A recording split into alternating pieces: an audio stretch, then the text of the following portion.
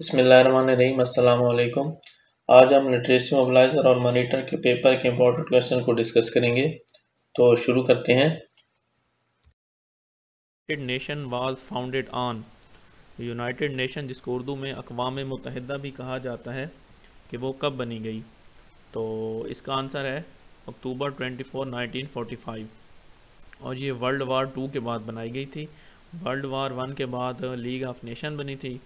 और वो बाद में ख़त्म हो गई थी, जबकि वर्ल्ड वार टू के बाद जो 1945 में ख़त्म हुई थी, उसके बाद इसका क्याम अमल में लाया गया था। बेसिक इसका जो मकसद था बनाने का, वो यही था कि जो एक वर्ल्ड वार वन हुई थी, फिर टू हुई थी, इन जंगों को, जो वार हो रही उनको रोका जाए। क्वेश्चन है जी। Which country from the following is not the member of U N O के यू एन ओ का, इनमें से कौन सा ऐसा मुल्क है, जो यू एन ओ का मेंबर नहीं है? तो इसका आंसर है वेटिकन सिटी वेटिकन सिटी इसको कहा जाता है, वैसे ये मतलब सिटी वर्ल्ड सिटी यूज़ होता है, लेकिन ये एक छोटा सा मुल्क है और सबसे छोटा मुल्क है दुनिया का ये। तो ये इसका मेंबर नहीं है। वैसे तो फ़लस्तीन भी इसका मेंबर नहीं है, लेकिन ऑप्शन के हिसाब से वेटिकन सिटी इसमें आता है कि ये इसका मेंबर नहीं है। तो नेक्स्ट क्वेश्चन है who was the first person to address the United Nations in Hindi के हिंदी में यूनाइटेड नेशन में पहली दफ़ा किसने एड्रेस किया था, किसने ख़ताब किया था? तो इसका आंसर है अटल बिहारी वाजपेयी। उन्होंने हिंदी में खिताब किया था और पाकिस्तान की तरफ़ से अक्सर ये सवाल आता है कि कुरान पाक की तलावत किसने की थी? तो उसका आंसर है जनरल ज़ियाउल हक। पहली दफ़ा उन्होंने की थी कुरान पाक की तलावत यूनाइटेड नेशन के अंदर। तो नेक्स्ट क्वेश्चन है हमारा, Epsom is the place associated with Epsom, England में एक जगह का नाम है कि ये जो जगह है, ये किस चीज़ के साथ एसोसिएटेड है? तो इसका आंसर है हॉर्स रेसिंग ये हॉर्स रेसिंग के साथ एसोसिएटेड है. छोटा सा ये गाँव है एक, यहाँ पे हॉर्स रेसिंग यानी कि घुड़सवारी जिसको कहा जाता है, वो होती है। क्वेश्चन नंबर फाइव है। Ariana is airline airline of which country के रियाना जो है, ये किस मुल्क की एयरलाइन है?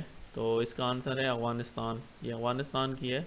और ये 1955 में बनाई गई थी। इसी तरह से पाकिस्तान में पीआईए है, इसी तरह से ये अफ़गानिस्तान की है। ये क्वेश्चन अक्सर आ जाता है डिफरेंट कंट्रीज़ के एयरलाइन के हवाले से पूछ देन नेक्स्ट क्वेश्चन है जी। Thomas cup is associated with which game Thomas cup जो होता है, वो किस गेम के साथ एसोसिएटेड है? उसका लिंक किस गेम के साथ है? जिस तरह से डिफरेंट गेम्स होती हैं, जैसे कि वेबल्डन टेन मतलब वेबल्डन एक होता है ओपन यू एस ओपन कहा जाता है, अक्सर वो क्वेश्चन आ जाता है कि वो किस चीज़ के साथ एसोसिएटेड है। तो वो टेनिस के साथ होता है। इस तरह थॉमस कप है कि वो किस खेल के साथ एसोसिएटेड है। तो इसका आंसर है बैडमिंटन ये बैडमिंटन के कप होता है और ये 1939 में स्टार्ट हुआ था।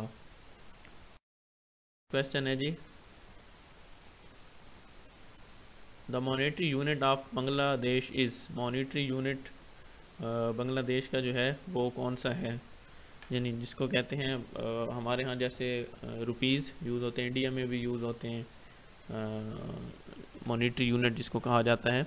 तो बांग्लादेश में वो कौन सा है? तो इसका जवाब है टका। बांग्लादेश ही टका है। आ, उसकी बात तो आजकल रुपए से भी ज़्यादा हो गई है। आ, लेकिन ये पाकिस्तान और इंडिया में रुपया यूज़ होता है और बांग्लादेश में टका यूज़ होता है। नेक्स्ट क्वेश्चन है the international monetary fund I M S I M F was founded on जो आई एम एफ़ है, उसका क्याम कब अमल में लाया गया? तो इसका आंसर है twenty seven December nineteen forty five. ये international monetary fund I M F का नाम तो अक्सर पाकिस्तान के साथ वैसे एसोसिएट भी किया जाता है लोन वगैरह के हवाले से। ये एक लोन देता है मुख्तलिफ़ कंट्रीज़ को, जो डेवलपिंग या अंडर डेवलपिंग कंट्रीज़ होते हैं, उनको लोन देता है ये। और फिर उनसे इंटरेस्ट लेता है। उसके बदले जिस तरह पाकिस्तान भी, पाकिस्तान को भी अभी भी लोन मिला है इनसे। तो ये 1945 में बना था। क्वेश्चन नंबर नाइन है the united nation has principal organs के यूनाइटेड नेशंस के जो प्रिंसिपल ऑर्गन्स हैं, वो कितने हैं? तो इसका आंसर है सिक्स उसके जो छः हैं, वो बुनियादी ऑर्गन्स हैं। यूएन के। नेक्स्ट क्वेश्चन है the O I C was founded in organisation of Islamic conference पहले इसका नाम ऑर्गेनाइजेशन ऑफ़ इस्लामिक कॉन्फ्रेंस था तो बाद में इसका नाम ऑर्गेनाइजेशन ऑफ़ इस्लामिक कॉन्फ्रेंस रखा गया। तो इसका जो है, ये कहाँ पे इसका क्या अमल में लाया गया तो इसका आंसर है मोरक्को। मोरक्को, मराकश में ये 1969 में ये बनाई गई थी और इसमें अब 57 कंट्रीज़ हैं और ये सब इस्लामिक कंट्रीज़ हैं। मतलब ये एक इस्लामी, जिसको कहते हैं इस्लामी सरबराही तंजीम भी कहा जाता है, जो मुस्लिम ममालिक ने मिलकर बनाई हुई है। इसका जो इजलास होता है, वो अमूमन हर साल होता है। तो पाकिस्तान में भी इसकी पिछले साल भी हुई है एक जनरल सेक्रेटरी की meeting.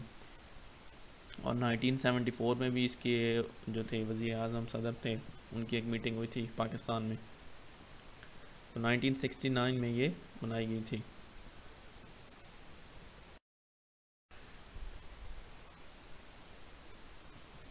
The height of Eiffel tower is feet feet के अंदर जो इफ़ल टावर है फ्रांस के अंदर, पेरिस में, उसकी जो हाइट है वो कितनी है? तो इसका आंसर है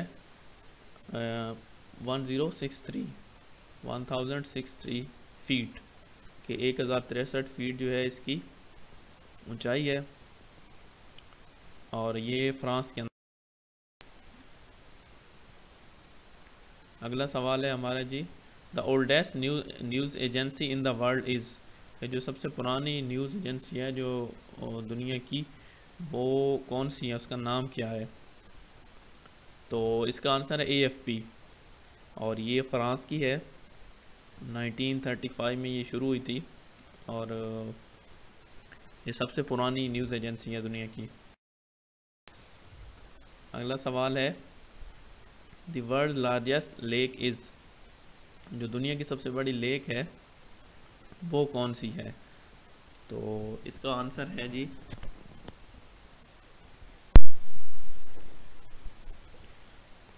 इसका आंसर है कैस्पियन सी। कैस्पियन सी जो है वो दुनिया की सबसे बड़ी झील मानी जाती है। नेक्स्ट क्वेश्चन है।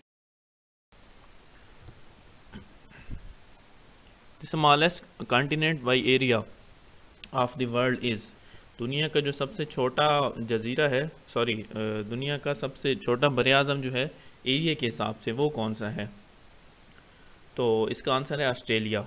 ऑस्ट्रेलिया जो है सबसे छोटा बर अज़म है और सबसे बड़ा जो बर अज़म है, रकबे के लिहाज से भी और पॉपुलेशन के हिसाब से भी वो एशिया है। लास्ट क्वेश्चन है जी।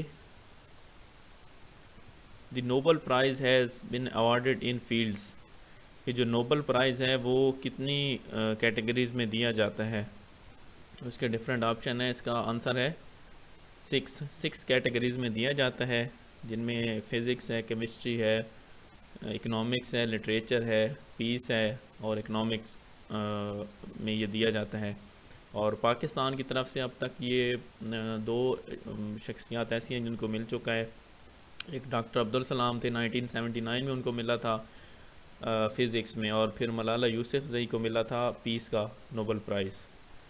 तो ये इसकी फ़ील्ड है सिक्स जो इसकी लास्ट फ़ील्ड है वो मेडिसन है शायद मैंने इकनॉमिक्स दो दफ़ा रिपीट कर दिया है। मेडिसन मतलब ये सिक्स टोटल इसकी फ़ील्ड है। तो ये आज के क्वेश्चन थे जो हमने पढ़े।